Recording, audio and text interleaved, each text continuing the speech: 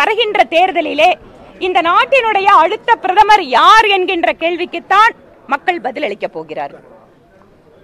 அதையொட்டி மக்களிடம் முன்வைக்க வேண்டிய கேள்வியே இந்த நாட்டை ஆட்சி செய்வதற்கு வாய்ப்பு இருக்கக்கூடிய அல்லது யார் இந்த நாட்டை ஆட்சி செய்தார்களோ அவர்களுக்கு நீங்க வந்து மார்க் போடுங்கன்னு அதை கேட்க முடியும் இந்த தேர்தலில்.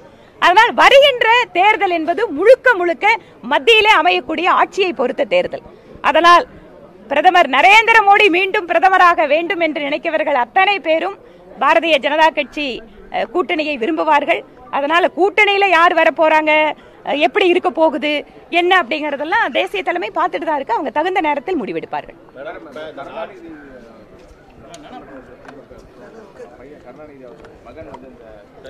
கைது பண்ணியிருக்காங்க.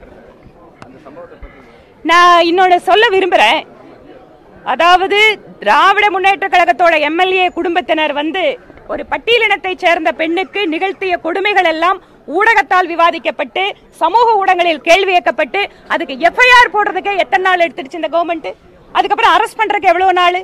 இதுவே நீங்க மத்த இடத்துல பாருங்க. ஒரு சாதாரணமா பேஸ்புக்ல கமெண்ட் போட்டா உடனே வெடி வெடி தூக்கிட்டு போறாங்க. இது ஒன்று. இரண்டாவது ஊடக நண்பர்களே நீங்கெல்லாம் விஷயத்தை என்ன இருக்குதோ அதை வந்து சமுதாயத்துக்கு சொல்றவங்க. திருப்பூர் மாவட்டம் பல்லடத்திலே ஒரு பத்திரிகையாளருக்கு நேர்ந்த கொடுமை என்பது அவரோட அந்த தொலைபேசி உரையாடல். போலீஸுக்கு தகவல் கொடுத்து அவங்க வந்து செயல்படாமல் இருந்திருக்கிறார்கள். இதற்கு மாநிலத்தினுடைய முதல்வர் அந்த நிகழ்ச்சிக்கு வந்து அந்த நடைபெற்ற நிகழ்வுக்கு கண்டனம் தெரிவிக்கிறார். யாருக்கு கண்டனம் தெரிவிக்கிறார்? காவல்துறை யாருகிட்டங்க இருக்கு?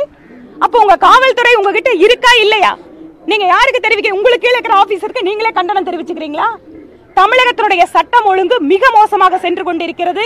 பத்திரிகையாளர்களான உங்களுடைய துறையை சார்ந்த ஒருவருக்கே அவர் தகவல் கொடுத்ததற்கு பின்பாக கூட இப்படி ஒரு பாதிப்பு நிகழும் என்றால் சாதாரணமாக இருக்கக்கூடிய மக்களை நினைத்து பாருங்கள். திராவிட முன்னேற்ற கழக ஆட்சி எப்ப வந்தாலும் அது ரவுடிகளுடைய ஆட்சியாக இருக்கும் என்று நாங்கள் சொல்வது ஒவ்வொரு இன்சிடென்ட்லையும் ப்ரூவ் ஆயிட்டு இருக்கு நன்றிங்க.